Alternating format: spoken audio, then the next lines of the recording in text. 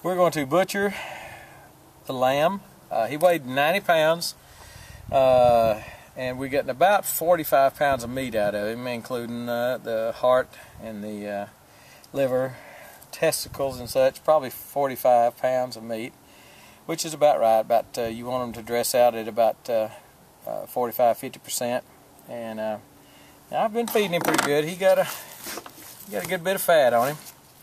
Uh, if you're looking for someone that absolutely knows what they're doing, this may not be the video to watch. But if you're looking for somebody that tries and will show you his mistakes and uh, and you can learn with, then this may be what you want to watch. I've, I've watched several videos. My understanding, you want to come back from the on the sixth rib. You count one, two, three, four, five, six ribs, and then you're going to want to split it there. So I'm going to do that.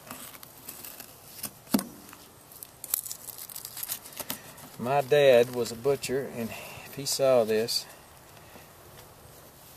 saw me doing this he would probably I know what he'd do he'd laugh his butt off but that's okay. If he wanted me to do it any better he should have taught me better. And I have used uh, just a metal blade on a recip. Uh, I've got his old handsaw but I did not buy a, a new blade for it and it's probably so dull that I, I should probably try it just to, to give his old handsaw a, a whiz. But uh, but this uh, this has worked pretty good. Just a, a cordless recip with a uh, with a metal blade, a little fine tooth blade. Okay. And we're going to cut it into what is called the primal cuts, and I may not be doing that just perfect. May not be doing. I am not doing it perfect. I'll tell you that right now. Uh, if I understand him, I've watched a video. They've uh, a guy in England named uh, Scott Rea, R-E-A, and uh, he's got some excellent videos on cutting up deer and sheep and uh, everything else. They're they're long videos, but he's very detailed, very uh, knows what he's doing. Uh, so anyway, I'm to come up to the, there's a, a, kind of a backbone, a joint right there. I'm to come up to the second vertebrae and I'm just going to kind of square it off here.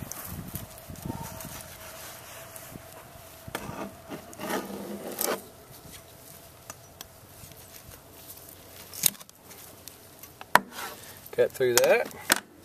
That's going to be your loin section. Going to have your lamb chops. Good, good, good loin in there. Um, I believe he calls this the breast, which I think we would call that the brisket right there. I'm just going to lay them out, lay them out as they came off the sheep, the lamb. Uh, here I'm going to cut this about right there. Knee joint is right there, just above the knee to give me a nice uh, shank, uh, meat, a nice meaty shank. He may uh, he may come a little below that. I, I forget now, but I'm going to start at the knee and just come across, and I'm going to get four different uh, roasts here. Uh, leg of lamb roast or whatever. Anyway, come right here. Get the bone.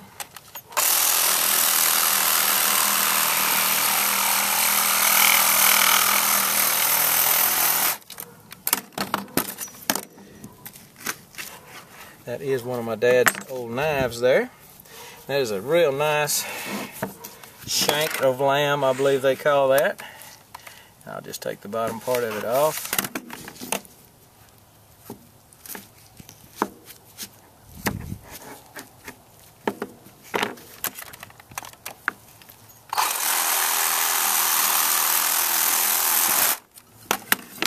Dog, you love that?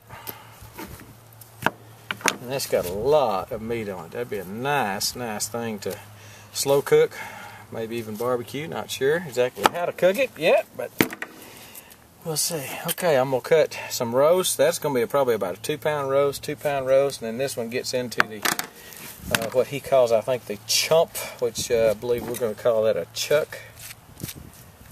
And uh, kind of trim it up a little.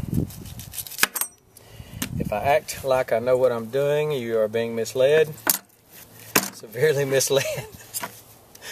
All right, let's uh, Let's make a nice, about, that's about two inches. You could come in here and just bone, uh, I mean, uh, strip out each muscle, each muscle group, come in here and find the muscle, the separations, and do that and make you some steaks. Uh, that is something that I considered, and um, not going to do it. If I do, uh, I don't think I'm to do it.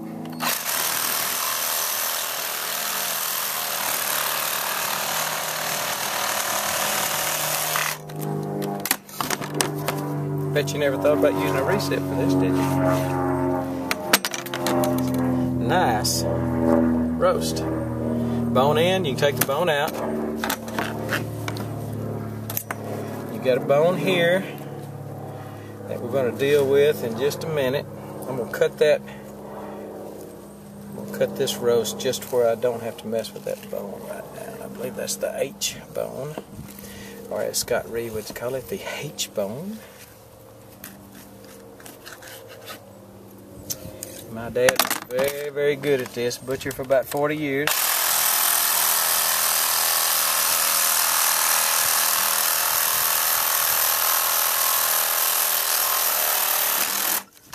Being in Texas, I don't know that he ever did lamb. He did a ton of deers when it was deer season. They used to have to cut them up, and he hated that. But mainly beef. Got a little uh, bone dust on it. That needs to come off before you cook it. Uh, that's just from the saw, and it would happen even if you used a uh, conventional saw, a hand saw. Still got to get bone dust.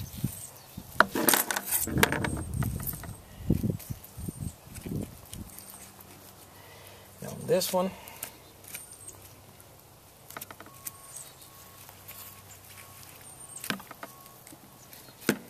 just think I think we're just going to go ahead and cut it and make a nice roast. That would make a good roast. And up in here, you've got the backbone to deal with. We'll do something else different there. But I believe this is, I'm going to show you, that's the way it came, the backside. This is uh, just going to do another roast right there. Got a little bit more bone to deal with.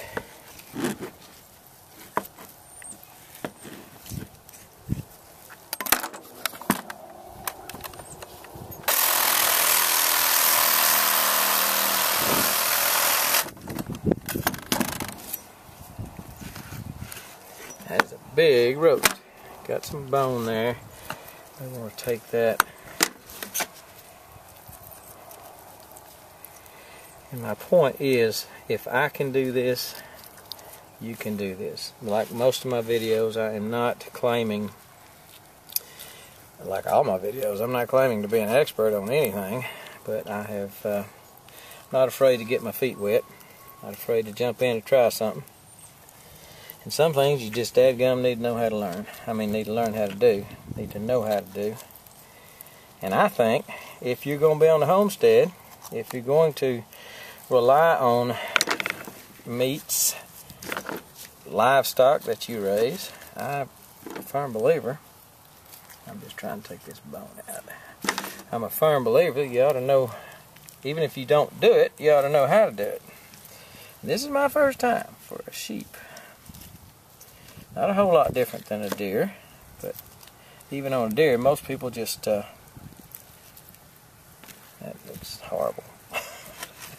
on a deer, most people just uh, uh, field dress it and take it to a processor. So I'm just going to bone this, rest this uh, out for grind. Be some nice ground lamb. And this will make nice roast. Some good fat on it. And a uh, nice little roast. Kind of coming apart, but it doesn't have a bone in it to hold it together, so that's probably why. So there's three nice roasts. Let me put it up this way so it'll look a little prettier to you. Three nice roasts and a shank. This is going to be another roast, and I, I could leave it, leave the uh, uh, vertebrae and such in it, but I just don't know how uh, how that spinal cord's gonna cook up. it may not uh, may not cook up so well. So I'm gonna try to get this out of here. And it's the way it's shaped, situated and stuff, it's kind of strange. So, and this again may be, may wind up being more grind than anything.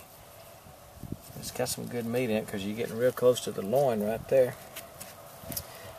I'm sure that's very tender meat.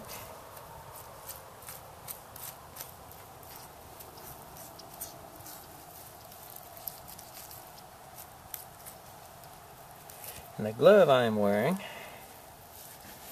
is a um, cut resistant glove, Kevlar glove that I highly recommend because I would have, uh, ooh, I think that's going to be a nice roast too. Just by itself for two people. Maybe y'all eat more than we do, but uh, I think we're just going to keep that whole in as a roast too. But the, it's a Kevlar glove, cut resistant. Um, I've I'll put a link to it on Amazon below the video. So you will check that out. It might be something that you want to, uh, before you get involved with uh, wielding a knife on your homestead or around your place or cutting up a deer or whatever out on the deer lease, you might want to invest, uh, I think like, gosh, $5, $10, something like that for two. Both of them are kind of ambidextrous, fit either hand. And uh, I've got some, got a neoprene on the other hand here. And all that will be uh, boned out a little bit better for uh, for hamburger meat. But that is some good meat, good lean meat.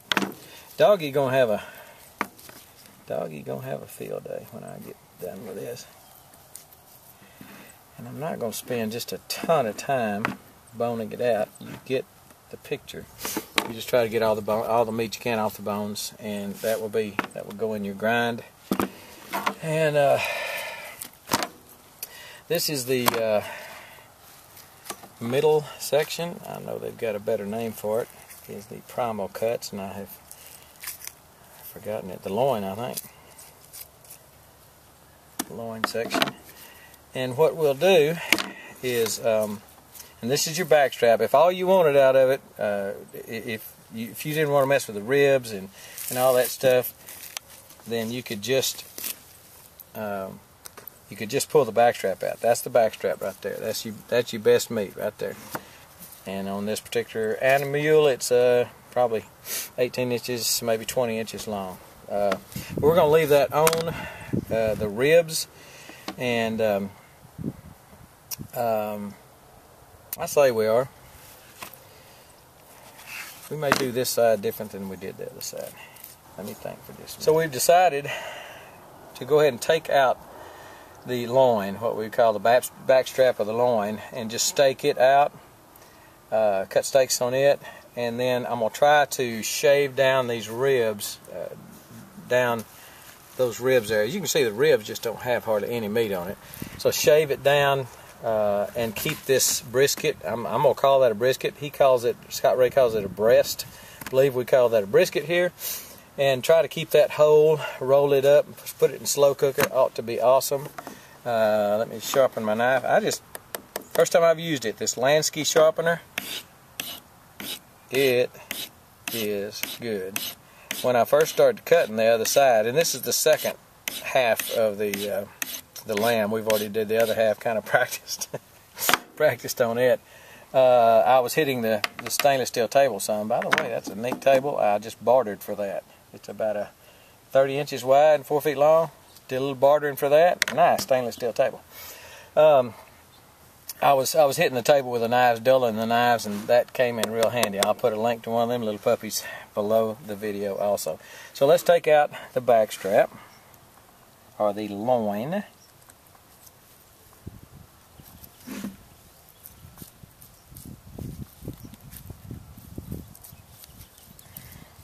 Some point it should just pull out of there pretty easy, we hope.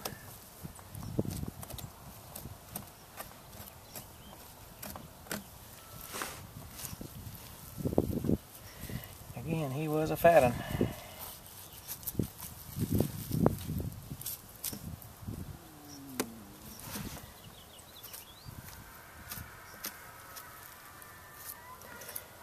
most people would be real correct in leaving this on the chops.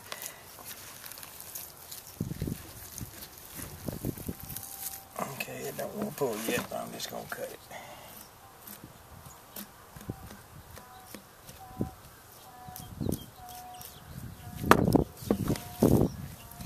Well, I'm ripping it. We don't want to do that. We'll leave it whole.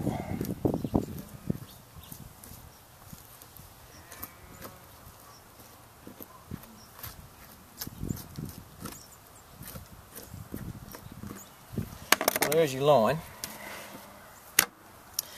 Trim it up just a little.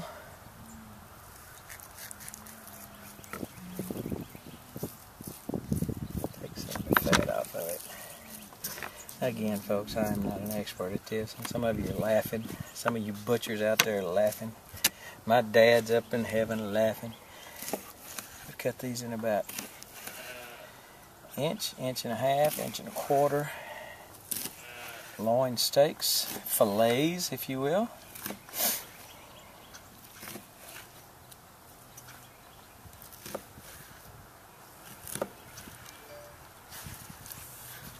And then this, I'm going to try my best to take off that rib, take that brisket off those ribs. There's just so little meat between the, gosh, that's thin. There's just not hardly any meat there.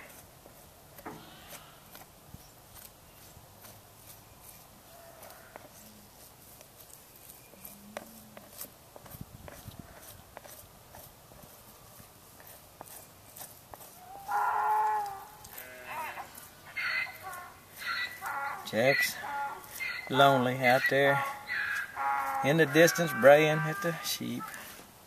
Still got them separated.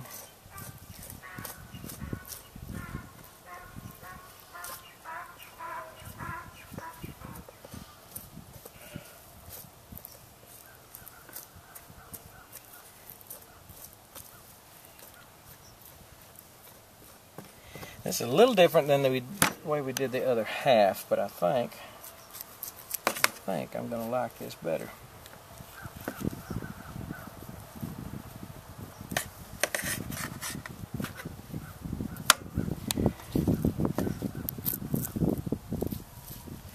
That is a nice piece of brisket. What we'll do, square it off, or is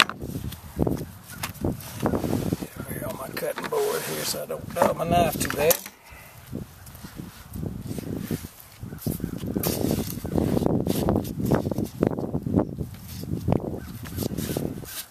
As Scott Rea would say, square it off. Be in the grind, and then just roll that dude up. Probably take a little more of the fat off of it.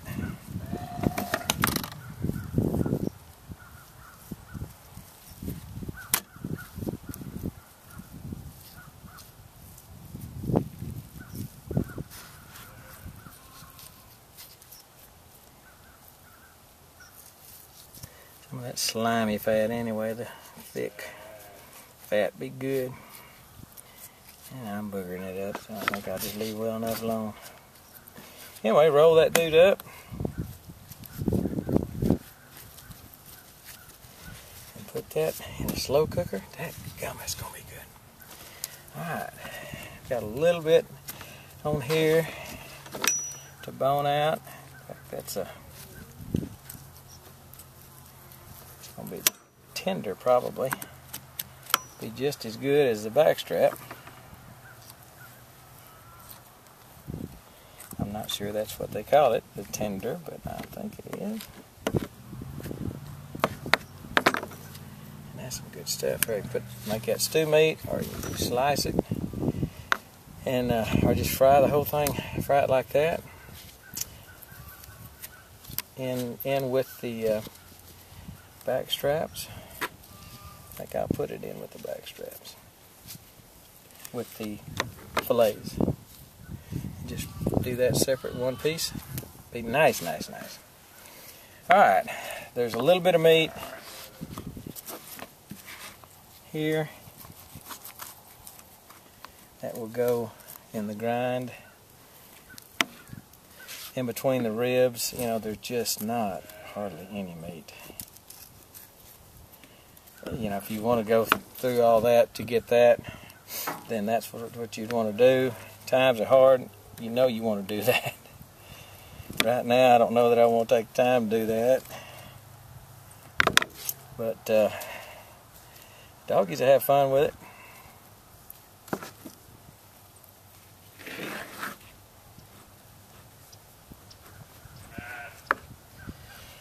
So that is what's left Here's the neck. Scott Reese says this is one of his favorite cuts is the neck. So I'm going to, in fact, I'm just going to leave it intact, except cut it in the middle because that, that's probably four pounds of meat. So I'm just going to cut it in the middle. Again, probably going to slow cook this. As you can tell, I'm a big believer in the slow cooker.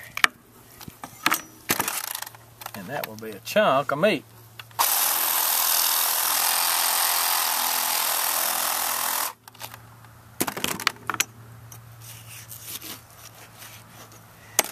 Will bag that up as um, probably take that big vein out or whatever that is right there.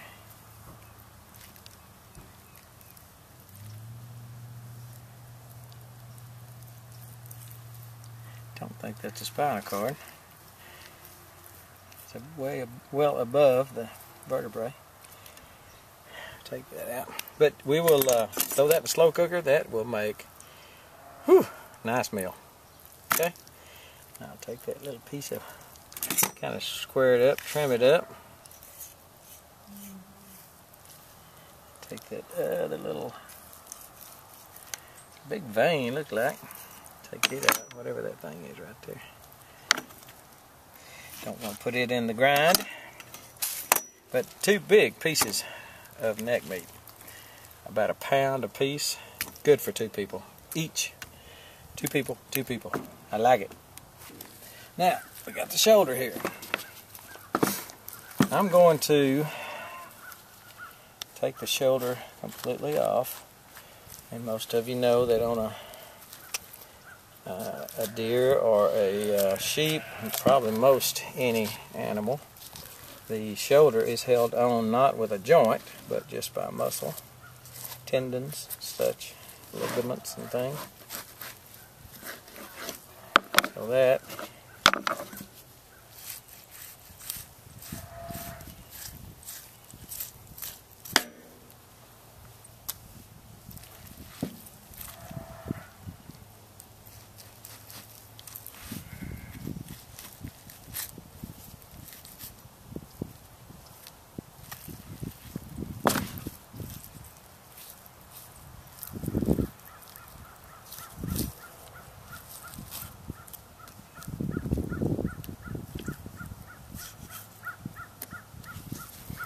And what we'll do on this is have another foreshank. This is not near as big, obviously, as this rear shank, but um, cut that off about there and cut this off uh, right above the joint. Got some good meat in there. Uh, make good, maybe a soup or such.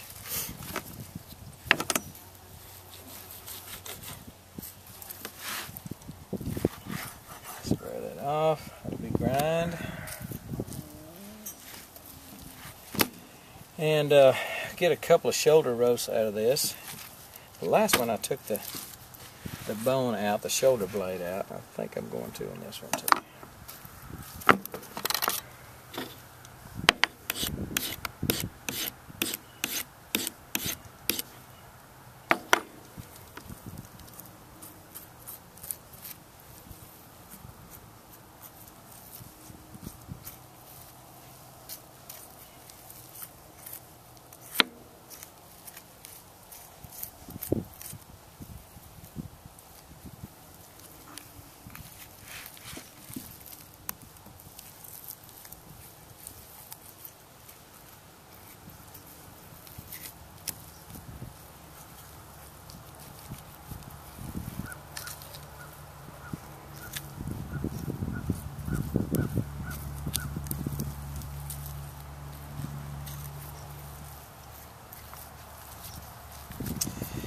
Yeah, let's see what I want to do here. I think I'm just going to make a nice shoulder roast. Come across here with a nice roast. This will be the shank. That'll be the shoulder roast. Guess what I'm going to do. Big bone in there, big shoulder blade.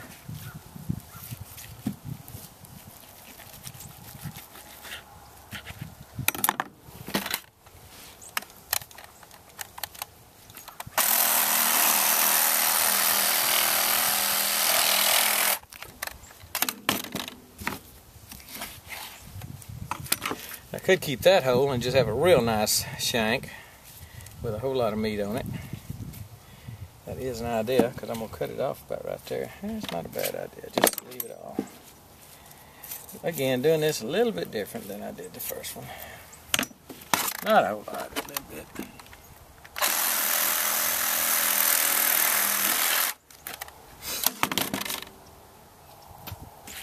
That'd make it nice, nice bone dust off. Make a nice uh, uh, shank, shank of lamb, I believe they call that. Right, that's the rear shank. Put him back over there, kind of laying it out like we're doing it. That'll be the front shank. And this will be the shoulder roast. Just going to cut it. Most of the meat's up in here, so I'm going to leave some of this, probably not cut it in half because I'll try to make in uh, servings for two.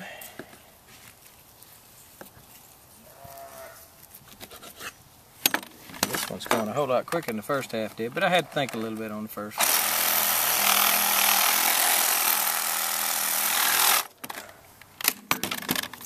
Not that I know what I'm thinking about, but I had to think. Get some good meat on that. Probably enough for two people. Got some good meat up in here and here. And that's another shoulder roast there. And uh, we didn't get near as much grind this time as uh, as we did last time, hamburger grind. But I'm going to keep that. Uh, I'll just add this to uh, what we did we probably had a pile at least twice that size on the other half because again I cut it up a little bit differently and uh, but I, I, like this better. Um, I like the way I did this side. Glad I've showed you this side because that's the, the way I'm going to prefer to do it I think from now and uh, occasionally you'll find a hair. Um, but before we uh, we, we're going to uh, use the food saver what I'm probably going to do is uh, get it out of system, Jack. What I'm probably going to do is um, wrap it in saran wrap first. Each piece, uh, a, a, serving for two. That's kind of what I'm shooting for here. I'll do a whole roast or uh, maybe three or four of the fillets. Uh, you know, that's that's four ounces of meat, probably all we're supposed to eat anyway. Put about four of those in a package, enough for two people. And uh, probably save some of these soup bones in case the wife wants to make a uh, soup and put that in there. That would be a nice addition to uh, soup stock. Uh, but what I'll do is wrap it first in uh, saran wrap. Probably not going to video that. I don't think there's any reason for that. Um, but wrap wrap it first in saran wrap and then go to the food saver in the bags and and uh, seal it in that, mark it as, as what we think it is. I didn't cut the rib, did I? I got ahead of myself. But that's why we're probably going to wrap it. And um, that will uh, should keep a long time. Uh, these are this is going to be your your um, pork chops, except they're not pork. Uh, rack of lamb, um, so, and I'm, you know, not really crazy about how to do this. My understanding is you come in here and, and take off most of this um, rib, and then you've got some more brisket here you can use for uh, either stew meat or grind. And uh, I just even pull off. But anyway, you'll want to cut uh, your ribs at about two ribs each, two uh, for each loin. So I'm gonna cut it, cut it across here first, kind of square it up to the to the um, vertebrae here, the backbone. Cut across there. Use my saw.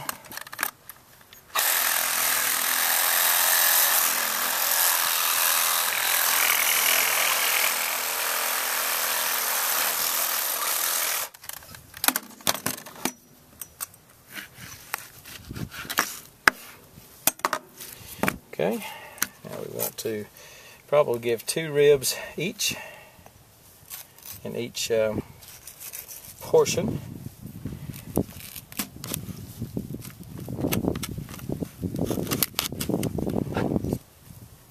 Nice.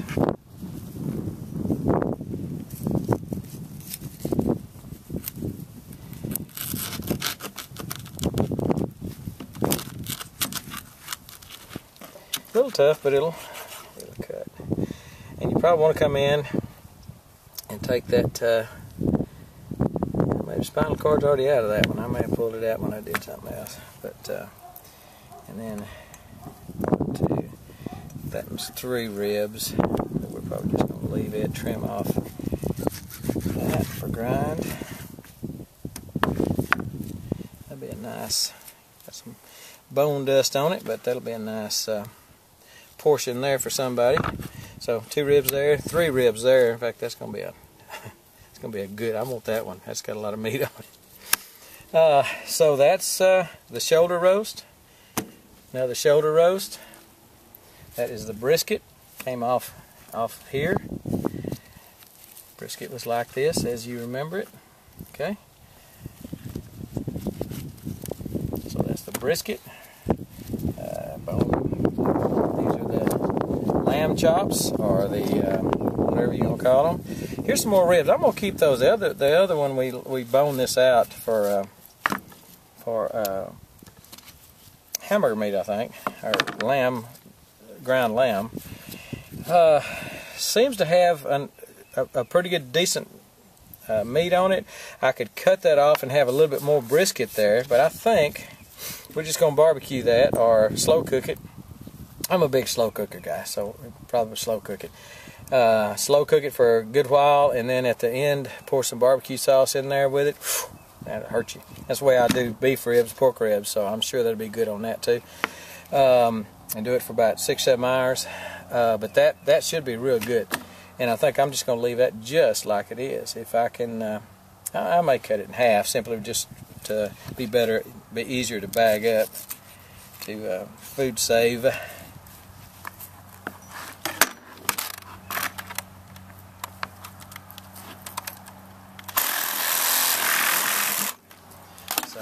just put in food saver like that, going in a slow cooker like that, be perfect. All right, that's uh, I don't know, I don't know what else to tell you. Uh, again, we'll uh, store it in food saver. We'll store it first, uh, put first some saran wrap around it. My intention of showing you this is not to show you how to do it right, but to show you that it's uh, it can be done by anybody. If you go kill a deer, uh, you're gonna pay somebody $85 or something like that to process it, $100 pro I don't even know what they charge anymore. When a couple of hours work, um, you know, is your time worth $50 an hour? Mine is. So anyway, um, you ought to try to do this.